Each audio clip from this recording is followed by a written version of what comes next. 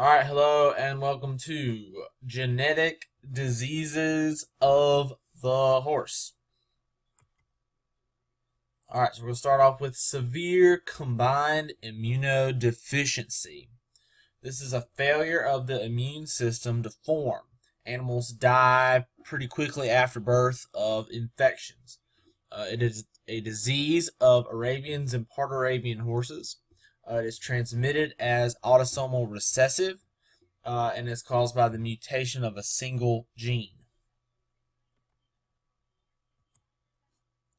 Next, we have hyperkalemic periodic paralysis, also known as HYPP. It is a defect in the movement of sodium and potassium in and out of muscle.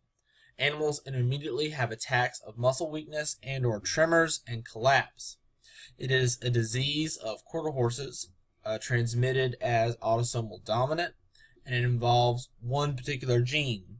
Um, and they're all uh, based around descendants of the stallion Impressive, which is uh, in that picture above. Next, we have myotonic dystrophy, uh, which is where spasms occur in various muscles. Lethal white foal syndrome. Uh, it is the failure of certain types of nerves in the intestinal tract. Foals die of colic several days after birth. Um, affects some offspring produced by mating two Overo paint horses um, and involves several different genes.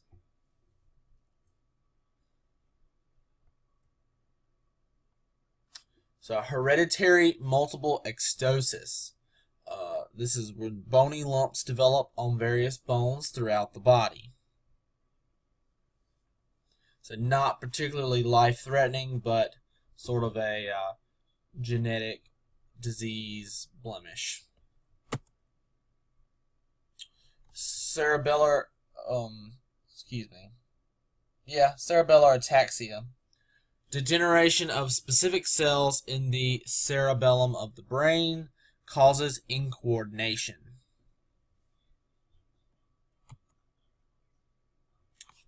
Hemophilia A.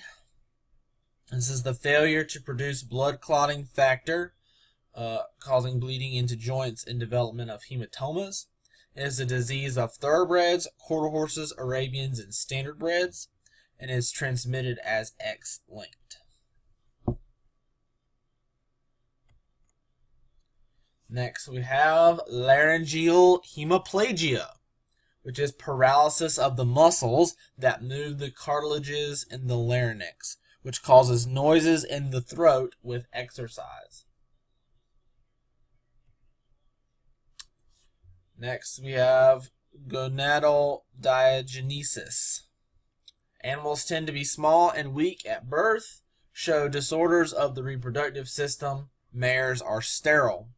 Um, this is the present caused by the presence of a single X chromosome in a female, caused by failure of the X chromosome to separate after duplication. Hydrocephalus which is the accumulation of fluid with compartments of the brain, resulting results crushing of the brain. Um, so hydrocephalus, also known as um, waterhead. Neonatal isoerythrolysis. A hemolytic disease of the newborn. Uh, foal's red blood cells destroyed by antibodies in mare's colostrum results in anemia and sometimes death. Genetic makeup of animal predisposes to disease.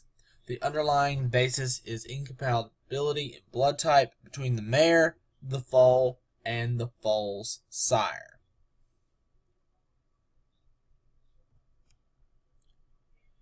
Uh, hereditary equine regional dermal asthenia, also known as HERDA.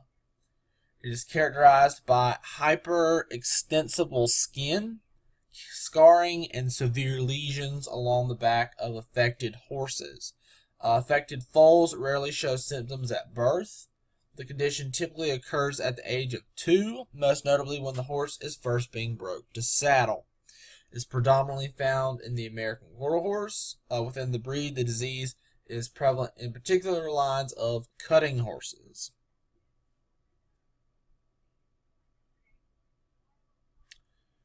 Epitheliogenesis imperfecta. Skin fails to form over parts of the body or in the mouth. And finally, Yes, cataracts is a genetic condition. Uh, cloudiness of the lens in the eye, which results in blindness. And there you have the genetic diseases of the horse.